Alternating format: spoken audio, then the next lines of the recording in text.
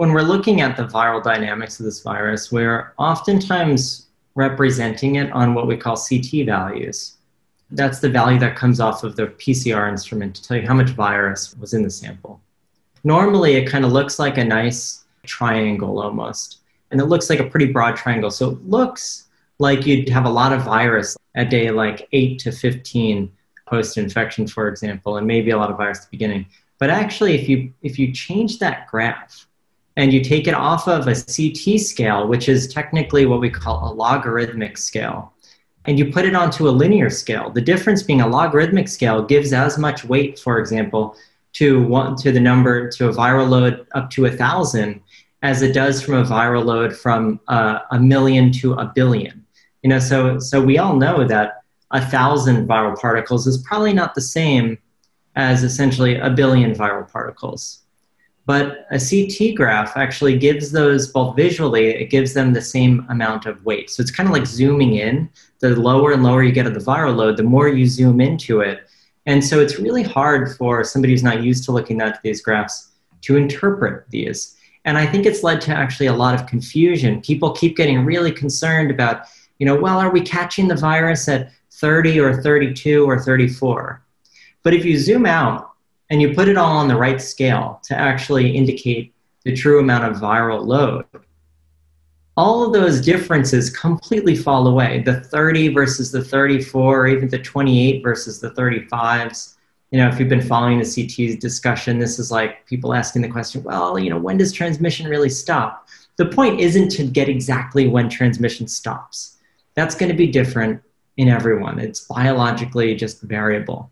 The important thing is to know that you're getting people when they have the most virus. And not just when they might maybe kind of have some potential to transmit. From public health perspective if we can find all of these people and we miss a few of these people that's okay because they're really low virus anyway.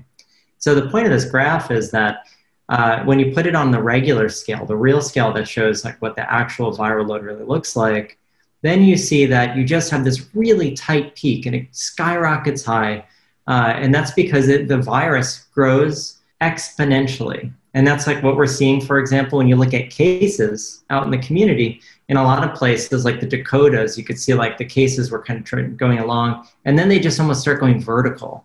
That's exponential growth. And so to really start to see what's happening, sometimes we put it on a log scale, but that gets confusing. And so when you put the viral load on this linear scale, it really drives home the message that all almost all of the viral growth that happens in somebody is in a very short duration of time say maybe like two three four five days max. And then you have just like the fringes where maybe you have some more virus on the edges and primarily on the edges on the downslope of the virus not on the upslope. When you plot it out like that you can see why it's so difficult to contain this virus because it really transmits the most in this very, very short window of time. And then your body has to handle it. And the reason, I mean, just physiologically, your body can't handle having exponential growth of a virus once it gets to billions or trillions of viral particles per mil uh, in your nose and in your lungs. It can't, it can't deal with another two, two replication cycles. It would blow through your whole lung per, you know, parenchyma and, and, and all of your tissues, and it would land you in the hospital. So for most people who don't get seriously ill, their body has to control the virus very, very quickly. And that's what this graph really tries to demonstrate is just how much of the viral load is really concentrated in a short duration. And what I take from that graph too is that these inexpensive antigen tests that the technology already exists for really capture that spike. They do. They capture they capture that spike with near so nearly perfectly. That's exactly right. And you know, so we keep squabbling. The FDA is squabbling. People are squabbling. We have a lot of experts squabbling over. Well, are we really catching the edges? Doesn't matter. You know, from a public health perspective, we want to know that we're catching people at that point in time. And it's it's even more important. People keep saying, well, you know, what if you miss somebody at the very beginning?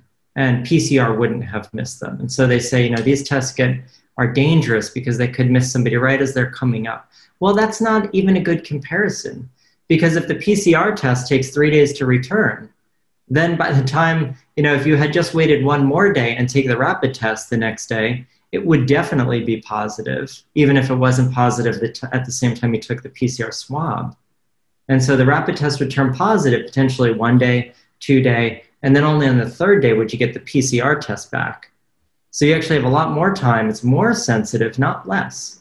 And that's what's so incredible about rapid tests. They give you, it's the power of getting the result immediately that gives you more time to act, not less. Gives you more sensitivity, not less. And I think that's a hard concept because it's not a, it's looking at these tests through a public health lens versus a medical lens where you kind of assume that the one swab you get is the only one, it's the only time you could possibly get it from that person. But at a public health perspective, you know, whether somebody comes in on day one or day two is random.